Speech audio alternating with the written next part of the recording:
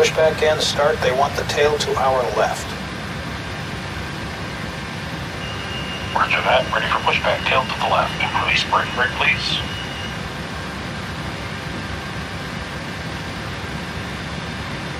Brakes released.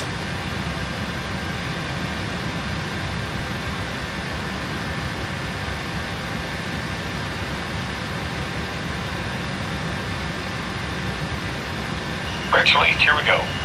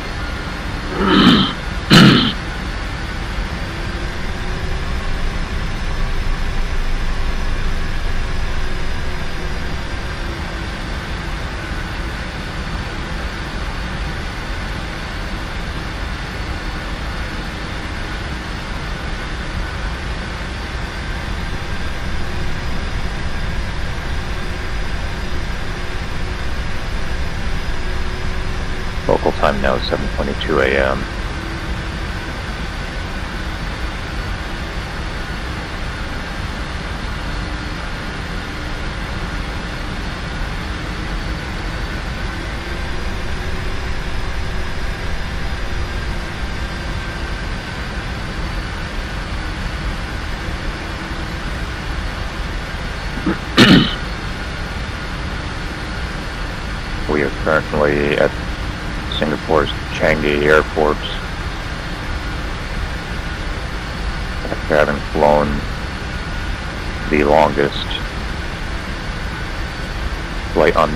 Are you kidding me?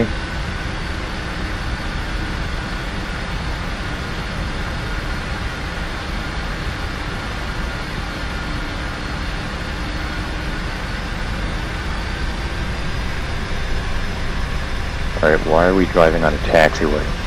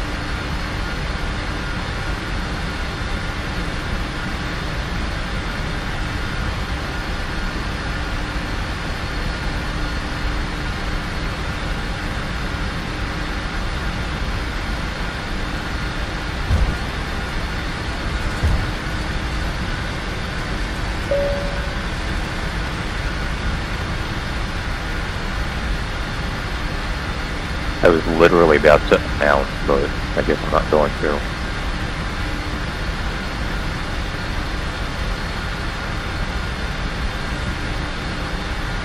Because cabin's already ready. That works.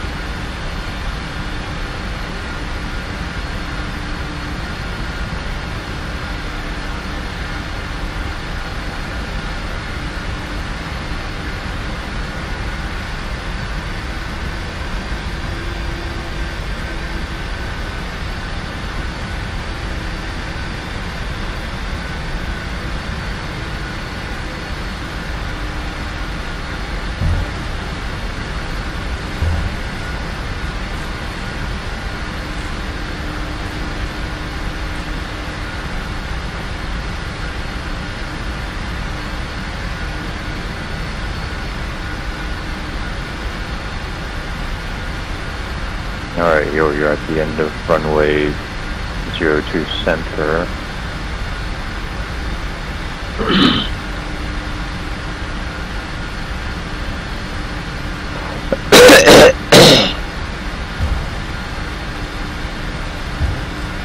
and I don't know why that guy's just chilling there.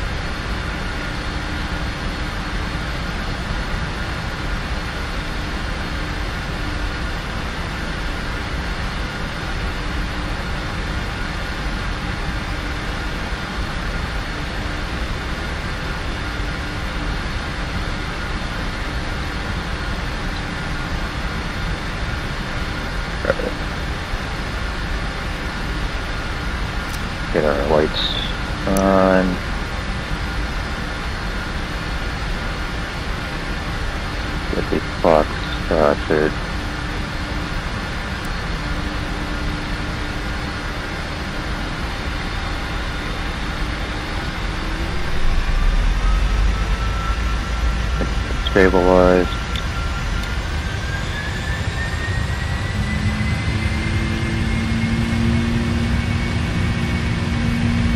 And we're rolling.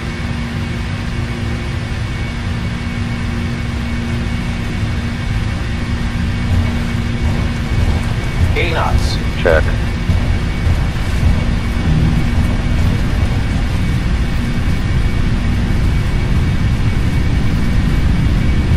V1. Rotate.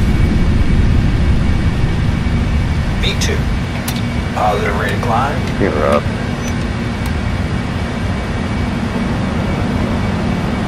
There's the airport.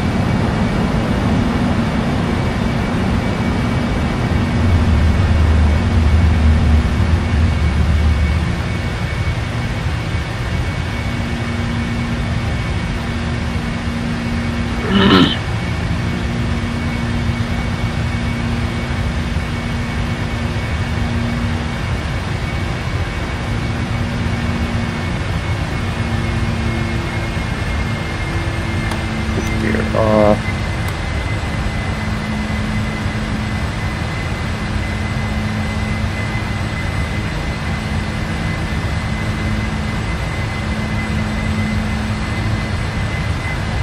Flaps ten.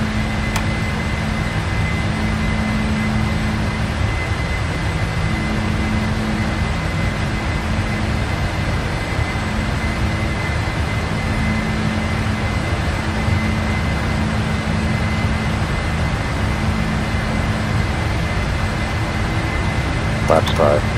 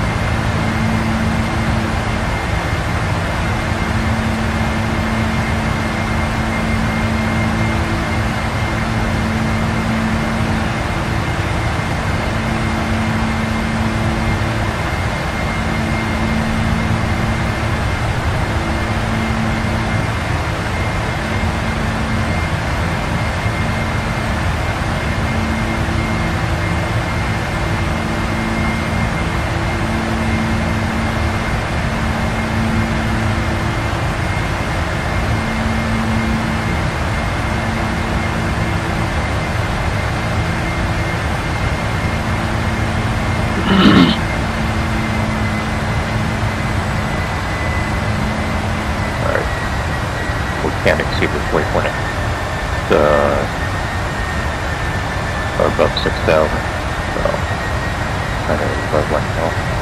A little bit here.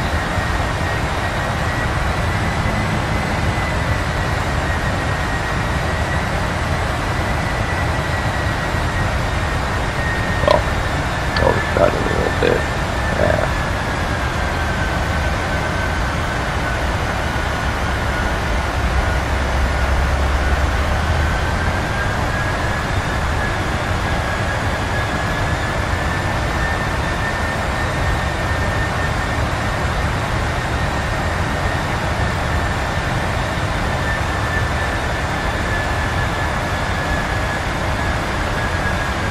Oh, maybe that's the one that's at 6,000. Crap.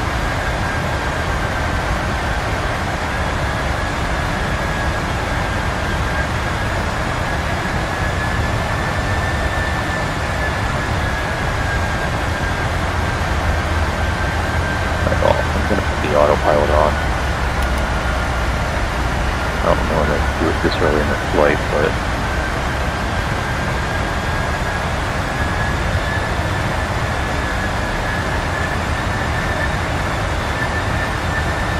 Yes, it's our next waypoint that we gotta maintain six thousand. That's a little silly, but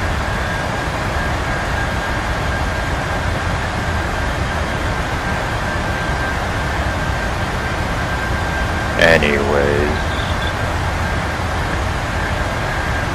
we have a look at our position here. Our coordinates right now is north one, east one oh four.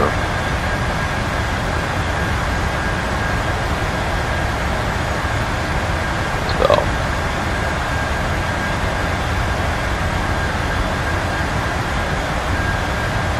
Meaning we are extremely close to the equator.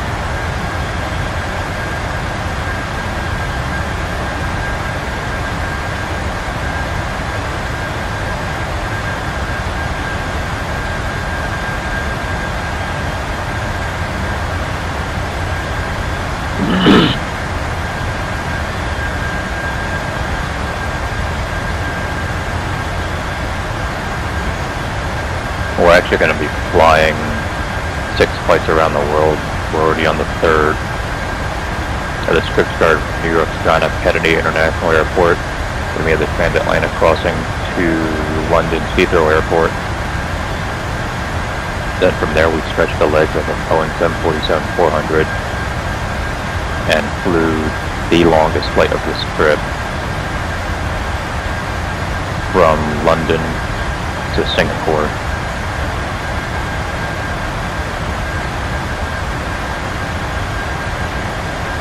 and our flight time was 12 hours and 20 minutes.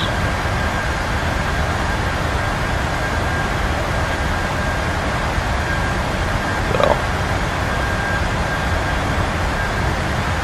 this plane can certainly fly it. In fact, um, it could fly even longer. New York to Tokyo is actually longer than that. That's 14 hours so I believe I do it. So that's the longest flight, and then this flight's gonna uh, have its own milestone, and yet you guys have not seen in any of my videos.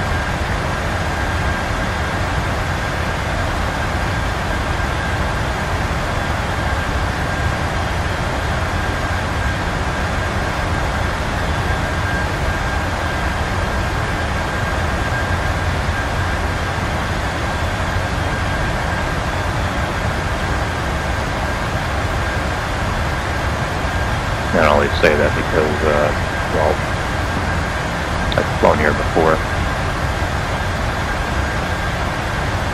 Back in 2004. December 21st of 2004.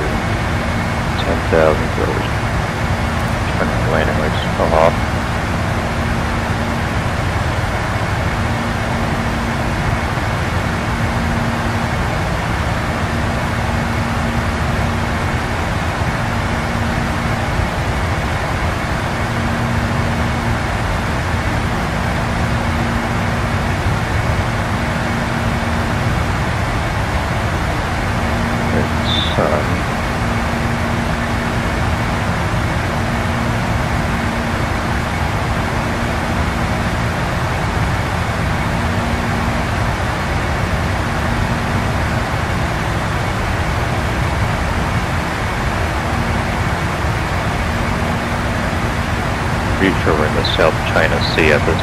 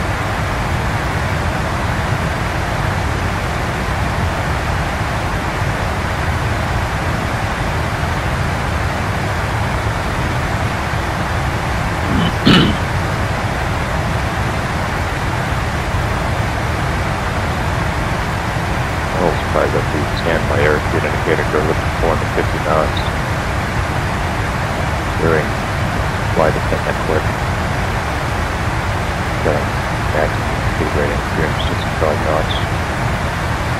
Indicated airspeed.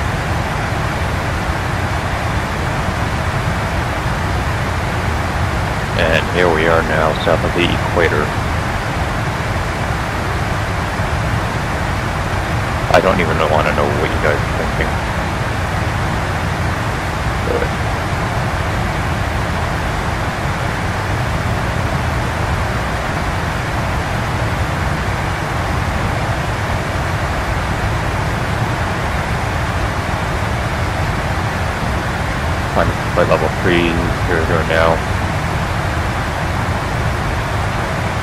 We've crossed the equator, so we're actually the southern hemisphere.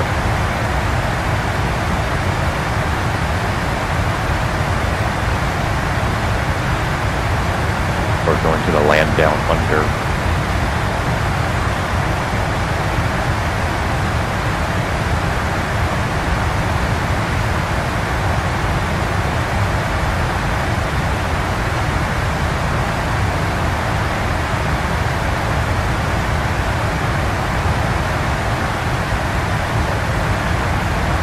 So, fun fact, and a bit of a history lesson.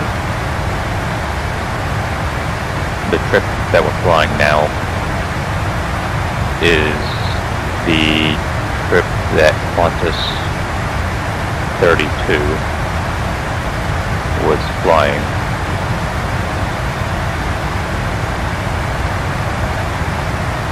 Um, Airbus A380 on the second leg of that particular flight. And four minutes after takeoff, they had an uncontained engine failure.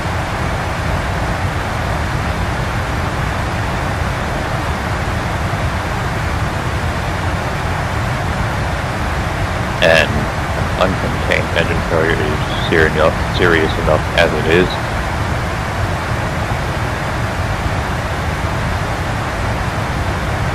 But this one caused a lot of damage to the plane. For one, the, see an uncontained engine failure is one in which parts actually fly out of the engine. Hence the term uncontained. So you got parts flying out of the engine.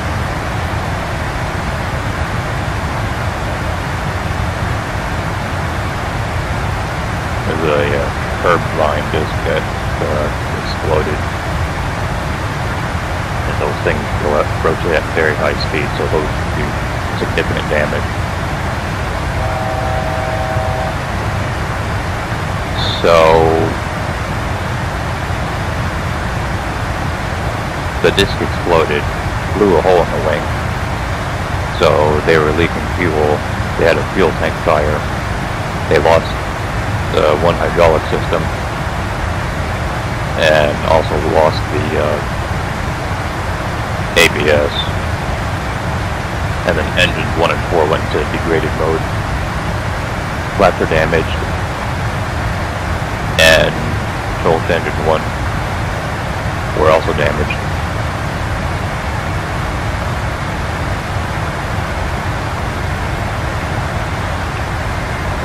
So basically it was one of those flights where everything that could possibly go wrong went wrong. They were getting all sorts of error messages on the ECAM. When I say ECAM, it's an Airbus, so no EICAS.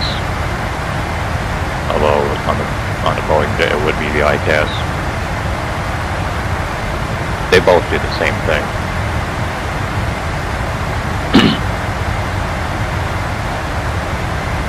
so they were getting all sorts of error messages to the point where they just more or less said screw it instead of trying to figure out what's wrong with the airplane. Let's figure out what actually works.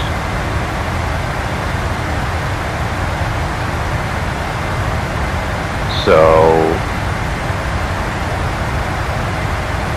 it took them 50 minutes to assess what was going on. Captain was flying the plane there was a uh, first officer on board. Obviously there was a first officer on board.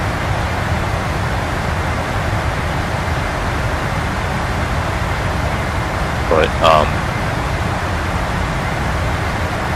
I don't remember who else was on board. I think they had a check pilot on board who was basically, um, monitoring the captain. And there was a supervising check captain who was monitoring the performance of the check captain.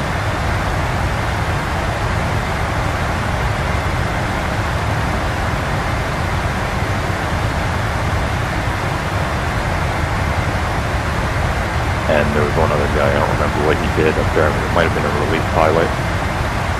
So, five pilots in the flight deck and basically they were trying to figure out what was going on. Then they had to uh, calculate the landing distance, see if they could actually land. They landed. And so they landed, they shut down the engines, and the fire crew got to the plane, asked the pilots to shut down engine number one, to which the flight crew told fire crew that engine's already shut down. To which the fire crew told the flight crew no, it's not. Alright, you know what? Well, we're at flight level 350, I didn't realize it. So, seatbelt signs off. free to move out the cabin as necessary. Of course, when you're seated, we'd like to ask you to remain seated. Keep your seatbelt fastened. In case we encountered some unexpected turbulence during flight. That was our usual stuff. We're over to South China Sea now.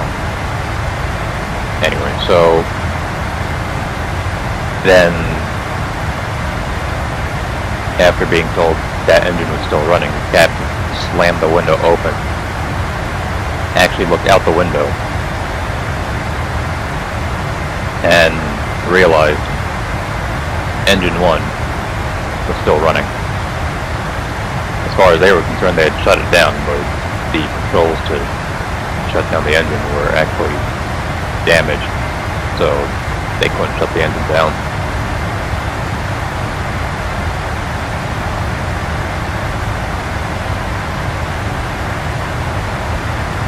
So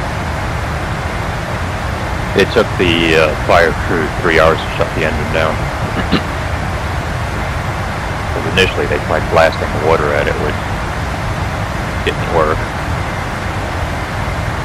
Because, you know, jet engines are designed to take on a lot of water, you know, in case they were flying in like a really nasty rainstorm or something. So the engine was still running as it was designed to do. So then they ended up blasting foam into the engine instead.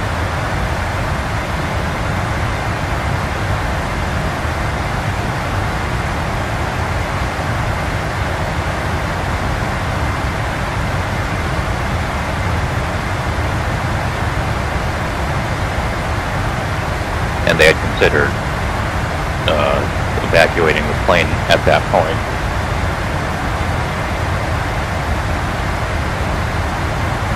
um, because fuel was leaking from the left wing onto the brakes. And of course, the brakes are hot. So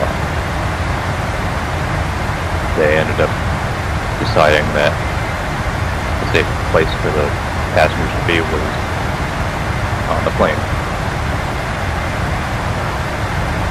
At least until such time that things changed, so it was possible that they would have had to evacuate but they didn't need to do that. So.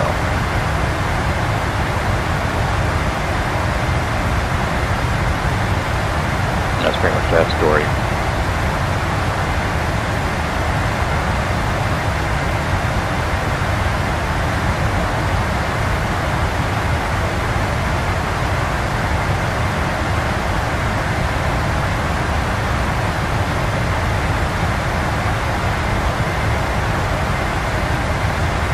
The incident took place on November 4th of 2010. The plane eventually returned to service after being repaired on April 22nd of 2012.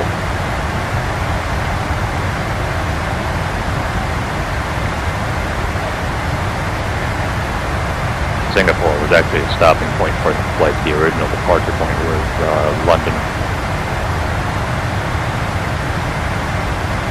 So it's also a little ironic that I just took off from London.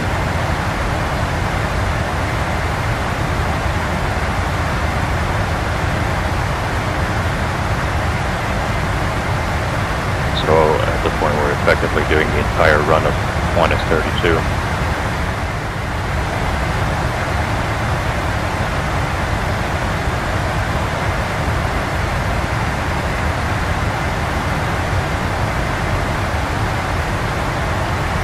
And we're just starting to cross into the Indian Ocean now, leaving the coast of uh, Indonesia.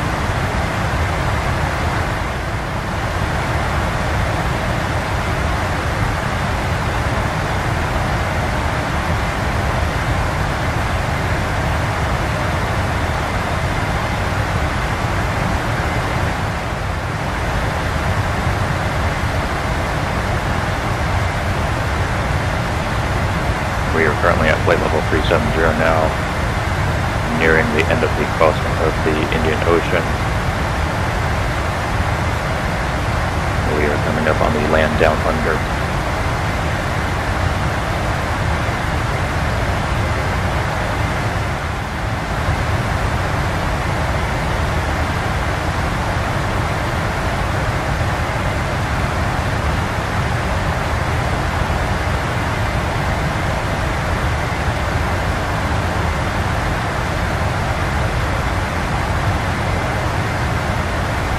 I think we're around Perth. We gotta go to the other side of the continent though. Or the other side of the country. Oh, actually, could be both really.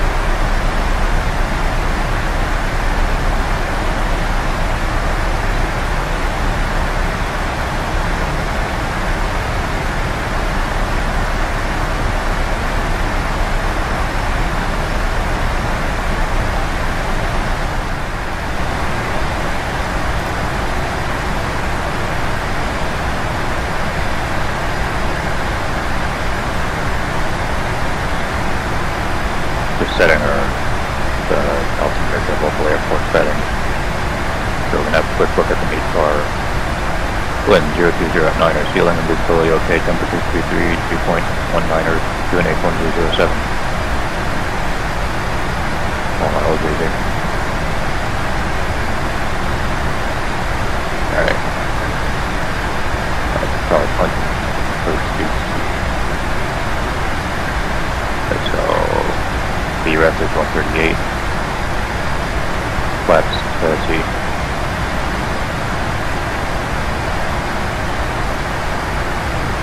We're just coming across uh, up on Rivet now, so we're going to be on the Rivet to arrival.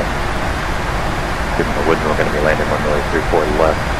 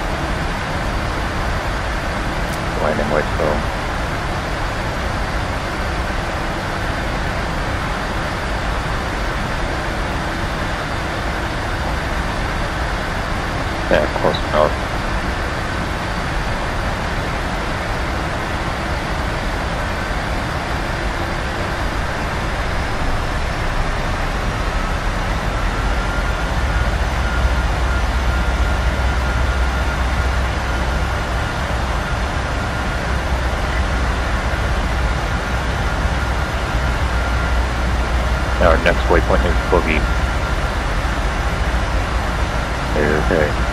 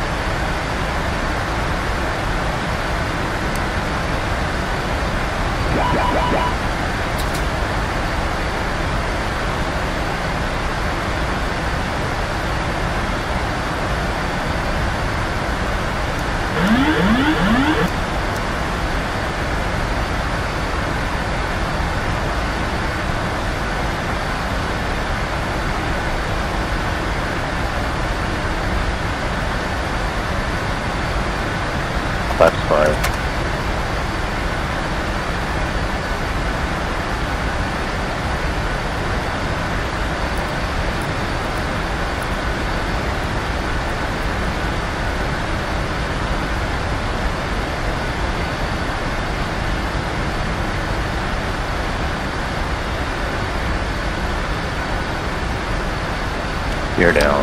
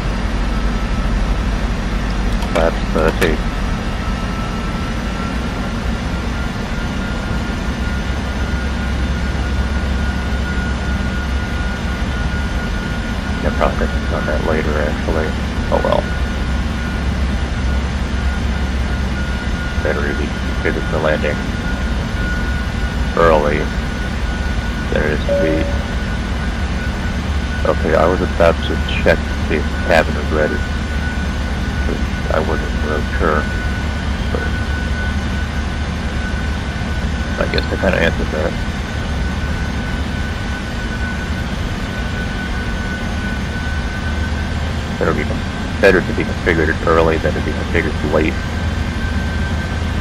So.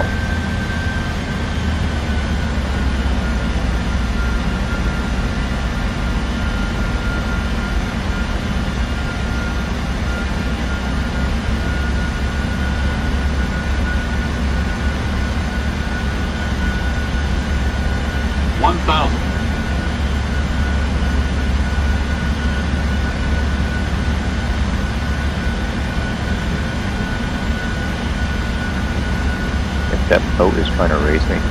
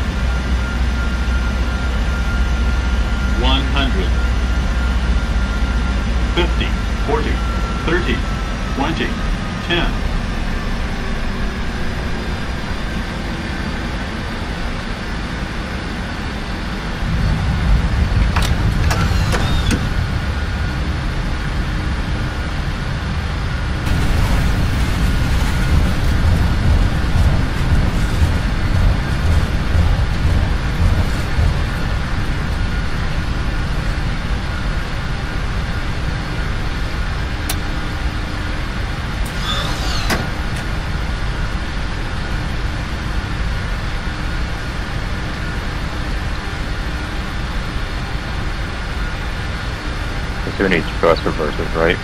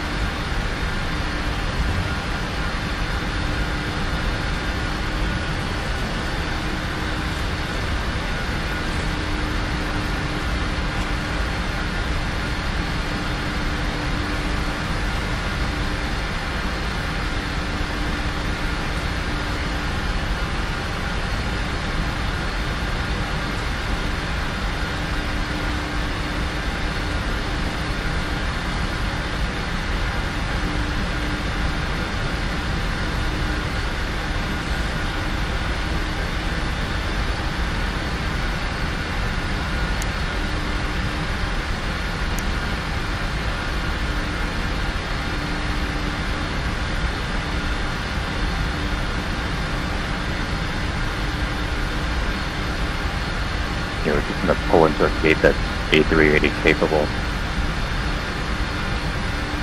Oh well, I have, I have uh, three jet bridges. Oh, and it's A380 capable, right?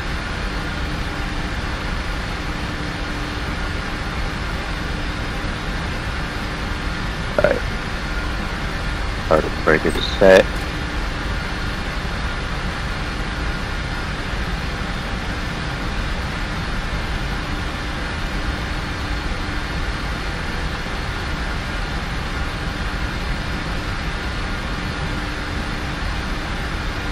I can't shut the engine down yet.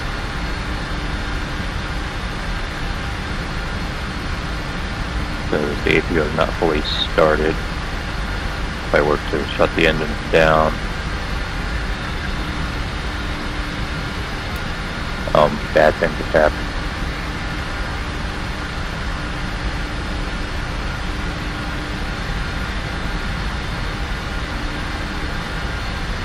Well, I could at least shut down two and three anyway.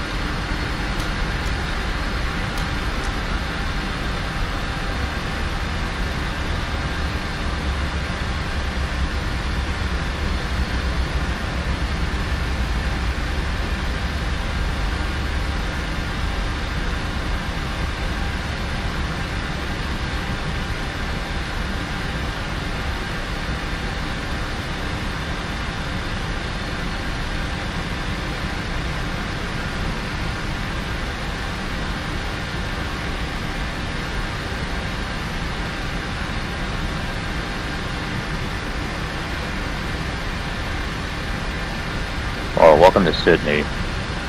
Local time is 17:47 p.m. We are early. I mean, like, bad early. Like, we weren't scheduled to land for another 33 minutes, right? I'm gonna try this again. AP off. AP start.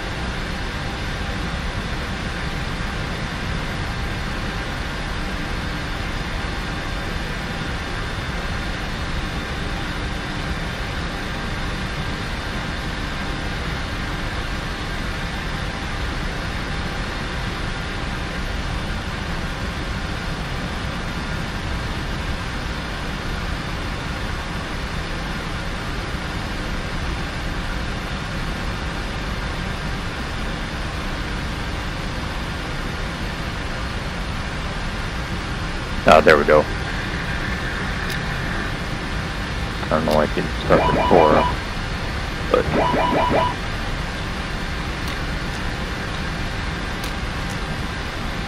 there we go. Engine shut down now. We couldn't shut the engine down before because if we did, we would have no power. So that's why. So welcome to Sydney. We are actually in Australia now. We're halfway done with our around the world trip. We're halfway around the world and we're actually on the other side of the world, more or less, because we started in New York. And now we're down south. So, it is now summertime here. Fine, correct. Thanks for flying with us. We hope to see you again soon. Good day.